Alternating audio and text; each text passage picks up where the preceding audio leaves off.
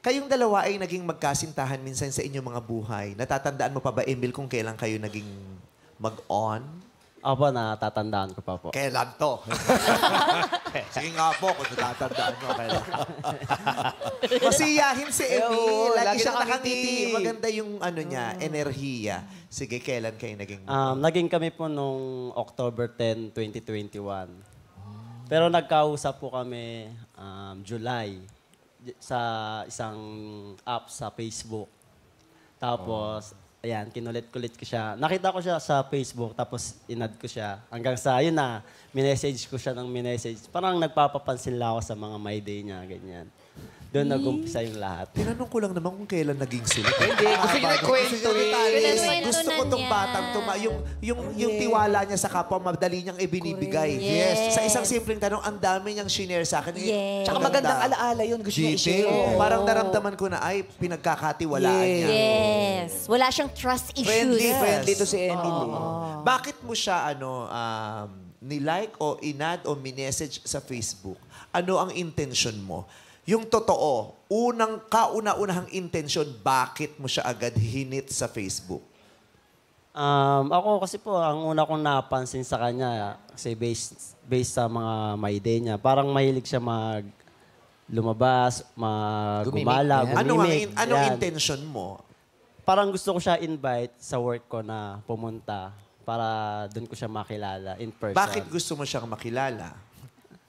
Siguro, yun na yung... Siguro gusto ko siya. Yun na yun, siyempre. Kaya, kasi, alam niyo po, kung di mo, naman pa, di mo naman papansin ng isang tao kung hindi mo talaga siya gusto eh. So, may intention ka na parang gusto mo siya kasi hindi sa gusto mo siya dahil maganda siya, kundi gusto mo siya makilala. So, hindi mo siya gusto dahil hindi siya maganda? Hindi naman ako nagagandahan sa kanya eh. Oh? Ha? Bakit? Pero minessage mo siya agad eh. Hindi, hindi.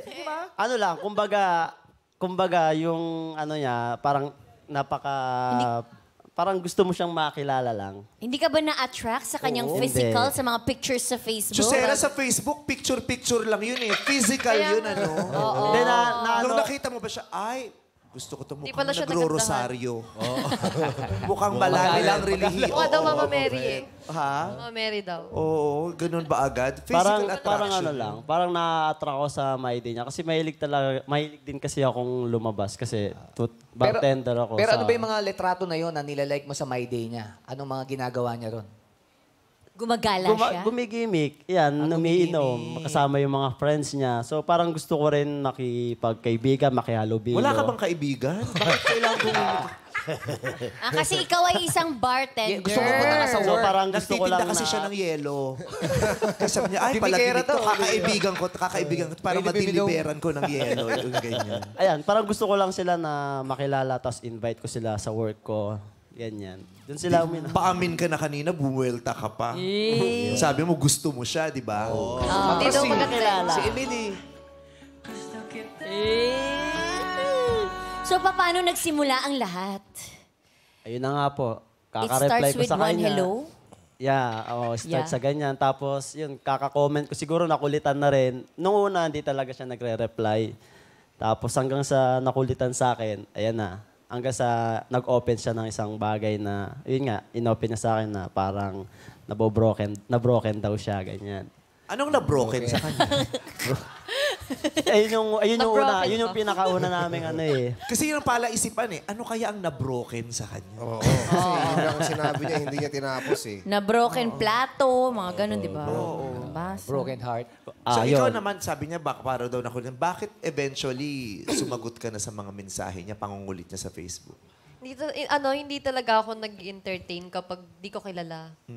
Tapos, reply siya ng reply sa my day. Tapos, one time na nag-reply ako sa'yo, sa, sa kanya, sabi ko, bakit? Tapos yun, nangulit na siya ng nangulit. Sabi niya, tagasan ka, ganyan. Usap-usap kami dalawa. Ganun. Kaya nga, bakit ibe- hindi ka, hindi ka, na, hindi ka nagre-reply eh? Hindi ka, di ba? Hindi ka ume-engage sa chikahan sa mga hindi mo kakilala. Pero bakit yun sa kanya nag, May tsura eh. nag-engage? Ha? May tsura. May itsura. Gusto ko yun. Na-attract din siya eh. Hindi ka daw maganda. Ha? Hindi daw ako maganda. Hindi ko maganda, pero kinulit-kulit. Kaya nga. Chusera, no? Tapos sinabi mo, may, may tsura siya. Oo. Tapos araw-araw mo siya kinukulit, tapos hindi siya maganda. Oo, baka gusto lang talaga mag-deliver ng yelo. Kasi nakita gumilikera daw eh. Oo. May inom. Tapos kinulit. At least siya, may itsura, di ba? Ano masama doon, di ba? Kaya na-attract naman talaga tayo, kaya nagkakaroon tayo ng interes sa taong hindi natin kilala. Nagsisimula yan sa physical attraction. Unless talagang gumana sa'yo yung napapanood natin sa mga pelikulang bigla ka nalang pinana ni Cupid at Love at First Sight yun. Yes. Kung totoo man yun, ha? Hindi ka naman inalok ng pyramiding, ganyan. Hindi. Bakit? Open-minded ka ba? Networking. Grabe yung pyramid. Yung iba ganun, eh, di ba? Oo. O kaya baka naman talagang hindi naman siya na-attract kay Lynn. Pero sabi niya, ay mukhang gusto mo gumagamit niya Rejuve. Pwede ka bang alokan ng Rejuve? Ganyan, kasi mukhang maganda kang babae.